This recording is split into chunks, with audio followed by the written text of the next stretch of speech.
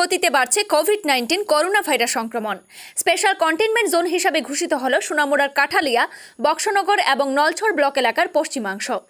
রবিবার দুপুর পর্যন্ত আক্রান্ত রোগীর সংখ্যা তিনশো একাত্তর জন।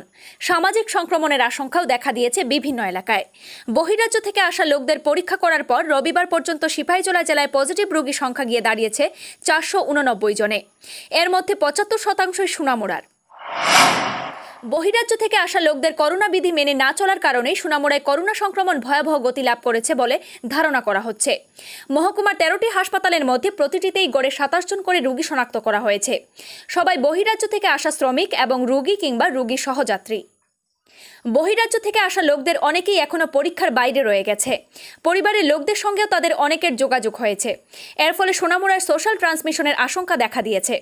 প্রতিরোধ করতে গিয়েই আজ জেলার তিনটি ব্লক এলাকাকে স্পেশাল কন্টেনমেন্ট জোন হিসাবে ঘোষণা দিয়েছেন জেলা শাসক চন্দ্রকুমার জমাতিয়া।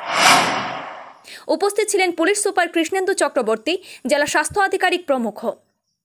আজ রবিবার মধ্যরাত বারোটা থেকে আঠাশ জুন দুপুর বারোটা পর্যন্ত কন্টেনমেন্ট জোন সংক্রান্ত নিয়ম কার্যকর হবে বলে জানিয়েছেন জেলা শাসক ডিস্ট্রিক্টে আমরা এখন দুইটাতে আমরা অলরেডি চালু চালু করেছি। অপারেশনাল আছে। একটা হচ্ছে Lal Singh Mura COVID care centre fifty seated সেখানে পঞ্চাশ জন কোভিড কেয়ার পজিটিভ এখানে ট্রিটমেন্ট নিচ্ছে। আর সাগর মহলে ষাটটা ক্যাপাসিটি আছে, ওইখানে ষাট জন রয়েছে। আর আমরা এখানে আইটিআই বিশ্রামগঞ্জ, এখানে আমরা একশোটা আসন বিশিষ্ট কোভিড কেয়ার সেন্টার আমরা তৈরি করছি। আজকে চোদ্দ তারিখ, পনেরো বা ষোলো তারিখের মধ্যে সেটা চালু হয়ে যাবে, এটা রেডি হয়ে যাবে। যদি পেশেন্ট থাকে, এখানেও আমরা অ্যাডমিট করব।